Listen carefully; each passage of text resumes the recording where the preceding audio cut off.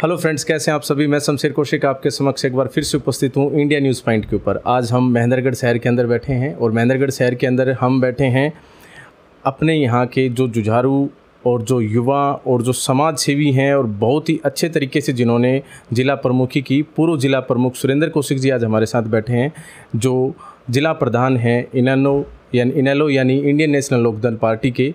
और बहुत ही अच्छे तरीके से इन्होंने पीछे जो भी काम करे हैं, उसी के ध्यान में रखते हुए आज हम बहुत सारे मुद्दों पर जिन पर ये एक्टिव रहते हैं, जैसे कि कोई भी समाज से रिलेटेड कोई मुद्दा हो, कोई भी ऐसा मुद्दा हो जो महेंद्रगढ़ के विकास के हित में है, चाहे कोई भी ऐसा मुद्दा हो जो इस क्षेत्र के महेंद्रगढ़, सिर्फ़ महेंद्रगढ़ विधानसभा नहीं, अगर महेंद्रगढ़ विधानसभा के इर्द गिर्द क्षेत्र में भी अगर कोई मुद्दा है, किसी भी प्रकार का मुद्दा होता है तो ये उसको अच्छे से उठाते हैं।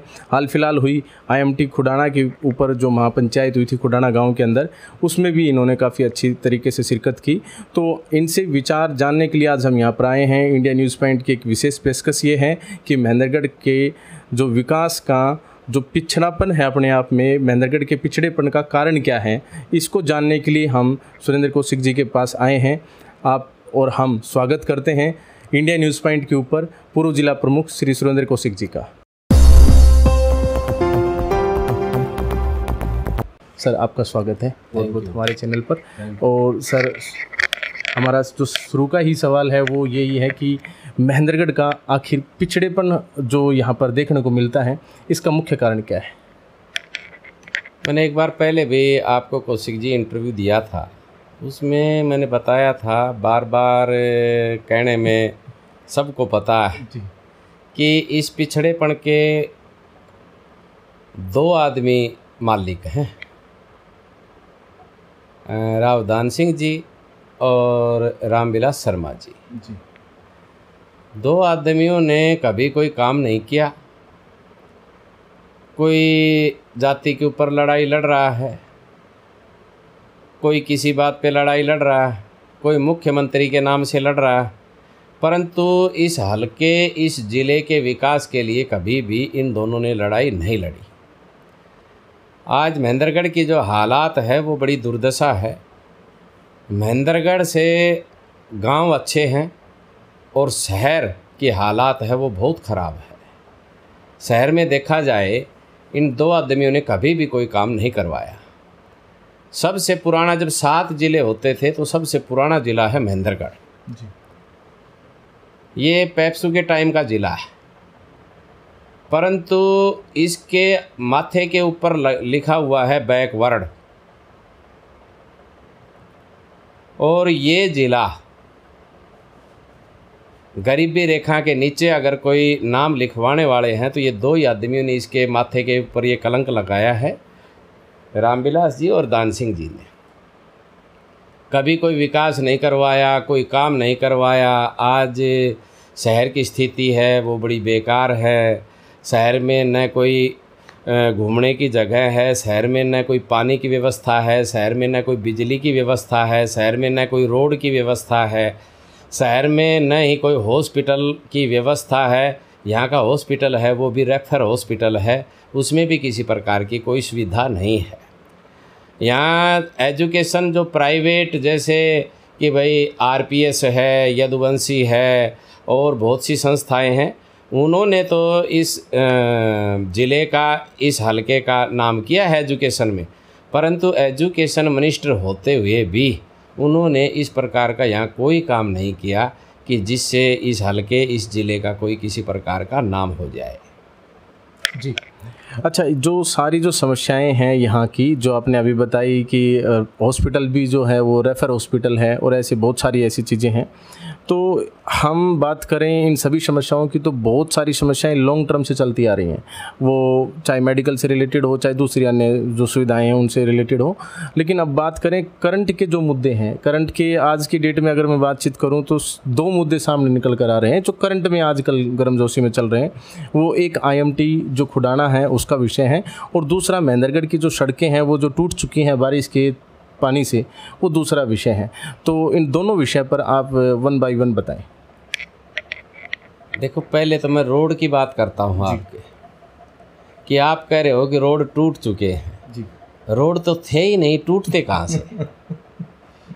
रोड तो बनाए ही नहीं। वो जैसे एक मैं माफ़ी चाहूँगा एक बीच में एक टुकड़ा रिपेयर करवाया था सतनाली चौक के आसपास से लेकर और राउत ये ब्रिज के आसपास तक का। मैं मतलब मेरा ये भी सवाल है बीजेपी सरकार से भी कि अगर वो रिपेयरिंग की गई थी चार महीने छः महीने पहले तो वो आज वापस से कैसे उखड़ गई सिर्फ़ छः महीने के अंदर? या तो वो मतलब ढंग से नहीं की गई या फिर वो बनाया नहीं गया था? बीजेपी सरकार ने एक ढकोसला किया कि ईमानदार सरकार है। जी। मैं कहता हूँ कि इतिहास में जितनी इस सरकार में भ्रष्टता है शायद किसी सरकार में इतनी भ्रष्टता आज तक नहीं हुई। पैच लगाए पीछे वो पैच ऐसे लगा गए कि आज वो कहीं दिखाई नहीं दे रहे। प्लस पैच का उद्घाटन किया गया। जी हाँ नांगल के अंदर रिपेयरिंग का उसका नारियल तोड़ा गया। पूर्व मंत्री जी ने हालिया कैबिनेट के मिनिस्टर जी को बुलाया गया। जब पैच के नारियल तोड़ने लग जाते हैं तो इसका मतलब हद हो जाती है। ये रोड मंदोला के पास रुक गया, नारनोल तक। मंदोला के पास जब रोड रुका तो कैबिनेट कैबिनेट मिनिस्टर थे आदरणीय रामविलास जी शर्मा, जो अपने आप को हरियाणा का चीफ मिनिस्टर कहलाते थे, जिनके पास कई डिपार्टमेंट थे, जिनका ये था कि जो मैं कहता हूँ वो होगी। आजकल तो ऐसा मुझे सुनने को दिखाई दे रहा है कि वो कहते तो ही बादल बरसे वरना बादल भी ना बरसे।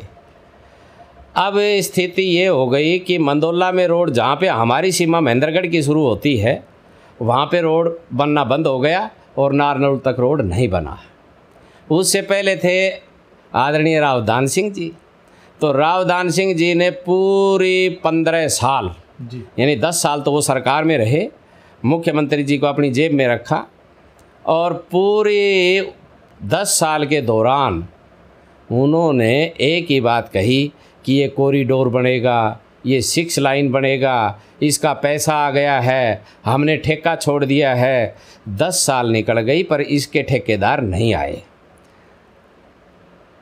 भूपेंद्र सिंह जी, हुड्डा पूर्व चीफ मिनिस्टर आप कभी भी शमशेर जी, आप रोहतक में जाओ।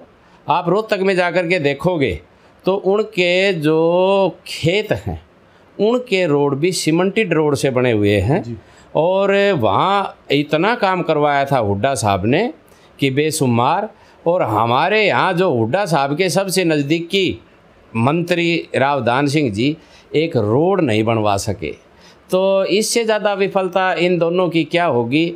और मैं तो बार बार कहने लग रहा हूँ, अब मुझे ही शर्म आने लग गई। आप जैसे लोग पूछते हैं तो वो शर्म आती है कि भाई पब्लिक भी जानती है, हर आदमी जानते हैं कि भाई क्या काम करेंगे, ये क्या किया। महेंद्रगढ़ का विकास जब होगा, जब इन दोनों से महेंद्रगढ़ को छुटकारा मिलेगा, वरना महेंद्रगढ़ का विकास होने वाला नहीं है।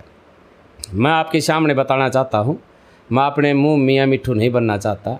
मैं जिला परिषद का चेयरमैन बना, मैं चौटाला जी के साथ था हूँ तो कांग्रेस का राज था, पर मैंने विकास जो करवाया, आज एक आम आदमी बोलता है कि प्रमुखी अगर किसी ने की तो उसका नाम है सुरेंद्र कौशिक। जहाँ भी जिस आदमी को ज़रूरत थी, जहाँ भी जिस गाँव में जिस चीज़ की ज़रूरत थी, जिसको मैं कर सकता था, मैंने बखूबी उसको किया। मैंने कभी पार्टीबाजी नहीं की मैंने ये नहीं देखा ये आदमी बीजेपी का है ये कांग्रेस का है ये इनेलो का है नहीं। समान रूप से जो आदमी मेरे पास आया मैंने उसका काम किया। प्लस मेरे से पहले किसी जिला प्रमुख ने किसी गौशाला में कोई दो रुपया नहीं दिया था। हाँ। बाद में आप कोई ग्रांटें भी नहीं बांटी थी। आपने कुछ काफ़ी कुछ मेरे साथ प्रॉब्लम क्या थी कि मेरी सरकार नहीं थी न सरकार की तरफ़ से मेरे को कोई गाड़ी थी न मेरे को कोई और सुविधा थी। किसी भी प्रकार की मेरे को सुविधा नहीं थी। उसके उपरांत भी मैंने इतने काम करवाए और गौशालाओं में मैंने दिल खोल के काम करवाया। जो भी मंदिरों मंदिरों के रोड टूटे हुए थे, वो भी हमने बनवाए। जोड़ों में जो प्रॉब्लम थी, वो भी करवाए। नहर से जो जोड़ तक पाइपलाइन की दिक्कत थी, वो भी करवाया। आज बीजेपी के राज में 2015 में जब बीजेपी का राज आया तो पहले था इंदिरा आवास योजना। जी। इन्होंने उसको बदल करके बना दिया प्रधानमंत्री आवास योजना। जब मैं जिला प्रमुख था तो यहाँ बहुत पैसे आए, लोगों ने चौबारे तक बना दिए। इस सरकार में किसी को पाँच पैसा नहीं मिला है, जो पहले के पैसे पास हो रखे हैं, उनके भी। आज देखा जाए तो ये सरकार गरीब की सरकार नहीं है, ये तो एक लुटेरों का गिरोह है अगर जिसको था जाए, वो ही लूट ले।